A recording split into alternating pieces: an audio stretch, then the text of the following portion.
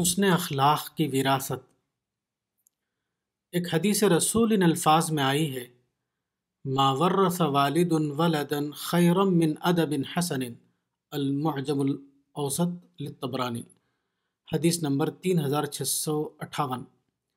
यानी किसी बाप की तरफ़ से अपनी औलाद को सबसे उम्दा विरासत अच्छा अदब सिखाना है। अदब का मतलब अरबी ज़बान में हसन अखलाक यानी गुड कंडक्ट है। ये एक हकीकत है कि किसी इंसान के अंदर पहले अच्छी सोच आती है, उसके बाद उसके अंदर अच्छा अखलाक आता है। अच्छी सोच हुसन अखलाक की बुनियाद है। इस एतबार से यह कहना सही होगा कि हदीस का मतलब यह है कि आदमी अपनी औलाद के अंदर दुरुस्त तर्ज फ़िक्र, यानी राइट थिंकिंग पैदा करे।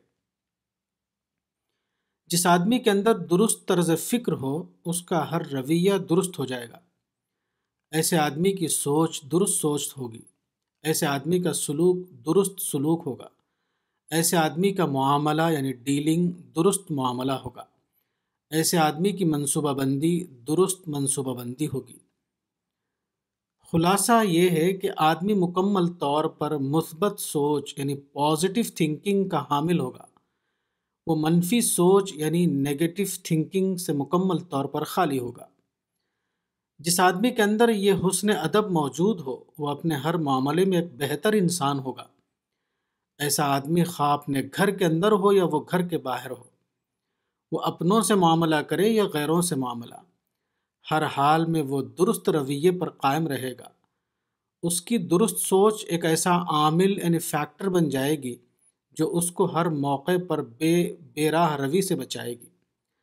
ऐसा आदमी एक संजीदा इंसान होगा। ऐसा आदमी ज़िम्मेदाराना अखलाक का हामिल होगा। ऐसे आदमी के अंदर वो किरदार होगा जिसको काबिल पेशन गोई किरदार, यानी प्रिडिक्टेबल कैरेक्टर कहा जाता है।